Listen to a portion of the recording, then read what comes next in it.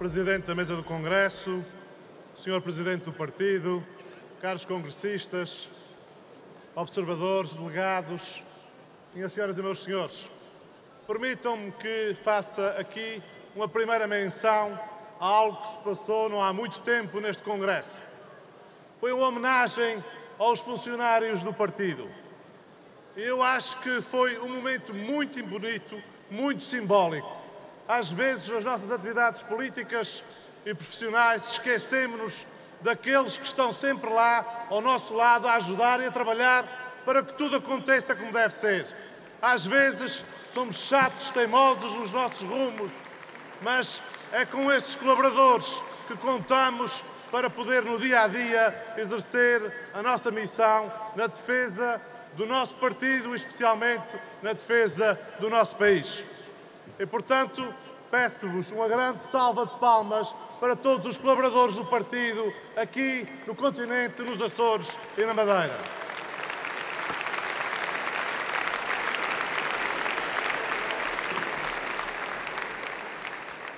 Permitam-me que, com alguns anos de experiência na oposição nos Açores e sabendo que aqueles que foram protagonistas do poder nos Açores são hoje também, a bem ou a mal, protagonistas do poder em Portugal, que vos traga aqui alguma da minha experiência sobre como podemos enfrentar estes nossos adversários.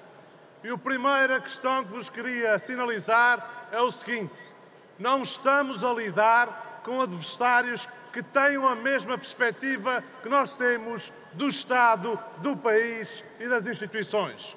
Retenham aquilo que vos digo.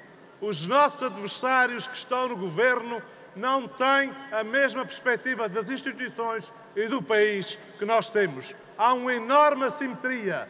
Enquanto nós pensamos em Portugal, eles pensam no Partido Socialista. Enquanto nós pensamos nas pessoas, eles pensam no poder pelo poder. E enquanto nós não aprendermos a fazer face a quem, com quem lutamos, não temos hipóteses de vencer esta guerra. Nos Açores, ao fim de quase 20 anos de oposição, espero que tenhamos começado a aprender a lidar. Assim como aqui no continente e em Portugal, rapidamente possamos perceber como é que vamos lidar com estes indivíduos. Temos que lutar todos os dias. Não podemos baixar os braços e lutar com inteligência.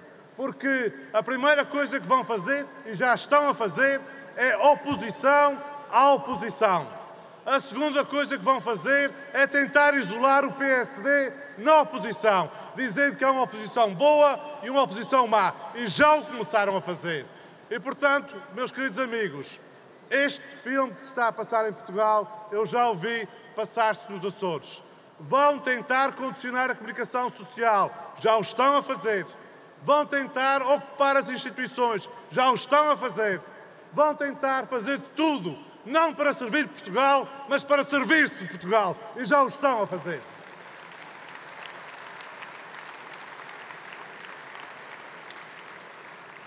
E, portanto, sem prescindir meu caro amigo Pedro Passos Coelho e PSD Nacional, sem prescindir dos nossos princípios, da nossa matriz herdada de Sá Carneiro, de colocar Portugal acima do nosso partido, chamamos a atenção em relação aos métodos que temos que utilizar, eticamente corretos, moralmente alinhados, mas com muita atenção àquilo que vai vir do lado de lá e já está a vir.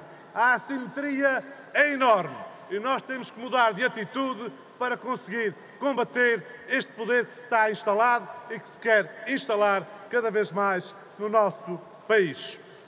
Deixem-me também falar um pouco das autonomias.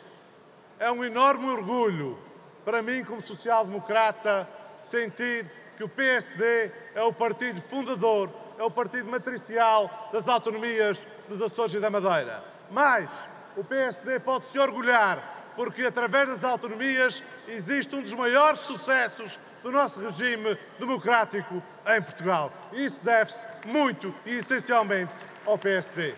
E não podemos deixar de ter em conta que este é um processo inacabado.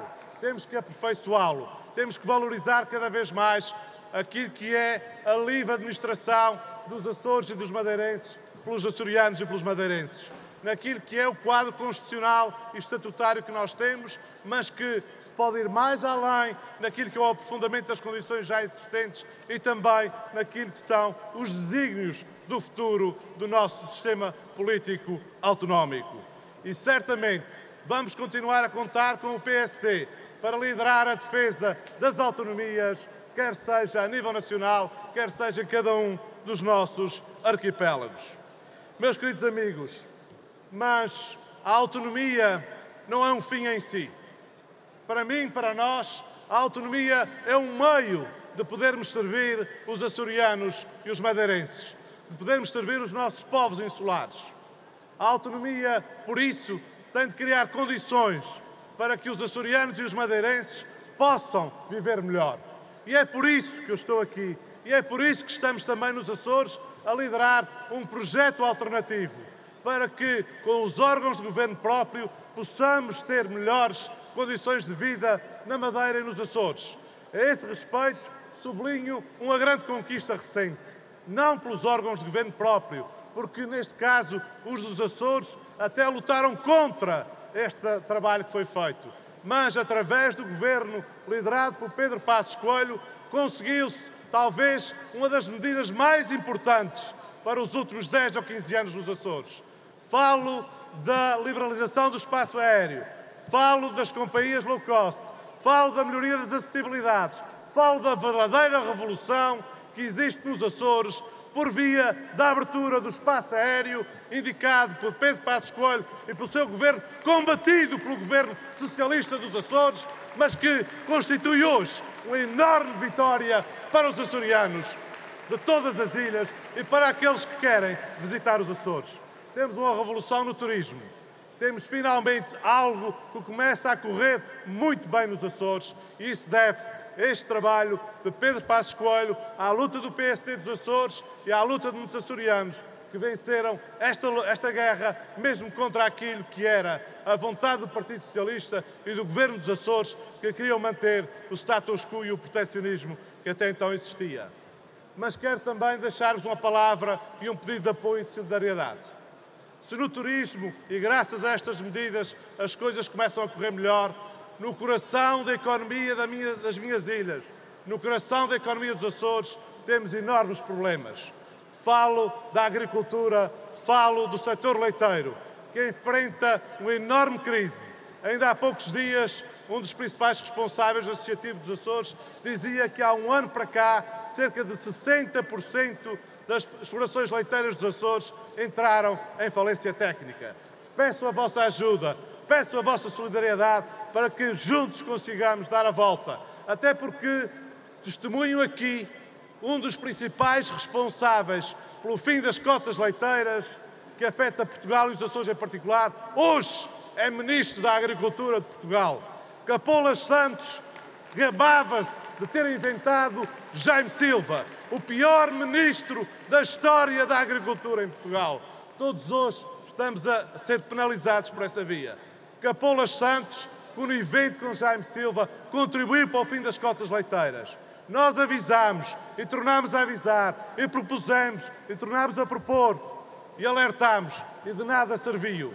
Hoje toda a gente está preocupada com a economia dos Açores por esta via e temos um dos principais responsáveis pelo fim das cotas leiteiras, Capolas Santos, agora a ir a Bruxelas dizer que é preciso resolver o problema do fim das cotas leiteiras, mas com o mesmo tipo de cara com que defendia exatamente o contrário há sete ou oito anos atrás. Assim, meus queridos amigos, não vamos lá. Precisamos de outra política, de outros protagonistas, precisamos da vossa solidariedade. Mas também vos quero dizer, a terminar, as verdadeiras e as grandes razões, outras verdadeiras e grandes razões pelas quais quero ser Presidente do Governo Regional dos Açores, pelas quais o PSD quer ganhar as eleições. Não para mudar apenas de ciclo governativo. Temos um regime de 20 anos, mas mudar isso não basta. Nós queremos fazer uma política diferente. Queremos libertar a sociedade civil, Queremos libertar aquilo que é a capacidade de iniciativa dos açorianos, que aqui no continente e em muitos sítios do mundo está mais que demonstrada. Nós queremos que os açorianos tenham as mãos para trabalhar. Nós somos sociais-democratas porque quando alguém precisa de ajuda, nós damos-lhe a mão. Mas não somos socialistas porque depois cada um de nós precisa das duas mãos para poder trabalhar por si e construir o seu futuro. Essa é a grande diferença. Os socialistas nos Açores dão a mão a quem precisa, mas depois não o deixam soltar-se e querem fazer do assistencialismo uma forma de governação e querem muitas vezes criar pobreza para se alimentar politicamente dessa pobreza. Temos que fazer diferente e é por isso que eu quero ganhar as eleições e o PSD dos Açores quer ganhar eleições. Porque não me conformo com termos os piores indicadores escolares do país, o maior índice de abandono escolar, o maior, o maior índice de retenção escolar. Isto não é admissível. Não foi para isso que construímos a autonomia. Foi para nos aproximarmos, não para nos afastarmos. Eu não, não me conformo com uma espera cirúrgica em média a nível nacional seis meses e nos Açores de três anos. Nós não nos podemos conformar. Não foi para isso que construímos a autonomia foi para servir melhor as pessoas e para nos aproximarmos do melhor que se faz em Portugal e na Europa. É por isso que eu quero ser Presidente do Governo Regional dos Açores, é por isso que o PSD tem que ganhar eleições nos Açores e é por isso que nós precisamos da ajuda de todos, aqui e em todo o lado, para podermos fazer dos Açores uma terra melhor para viver e, em especial, construir para as novas gerações uma nova esperança. Temos hoje a geração mais qualificada de sempre, também nos Açores. Mas nos Açores temos o maior desemprego jovem do país, o dobro da média da União Europeia. Isto é a desesperança. Os jovens a bater à porta do emprego e ninguém a abrir. Os jovens a lutar, as famílias a lutarem por melhores condições e a esperança a fugir-lhes. As ilhas a ficarem desertas e a esperança a ficar despovoada. É por isso que eu quero ser presidente do Governo dos Açores. É por isso que precisamos da ajuda de todos para mudar a vida dos açorianos, para construir uma vida feliz nos Açores, como queremos fazer também em todo o Portugal. Muito obrigado, viva os Açores, viva Portugal!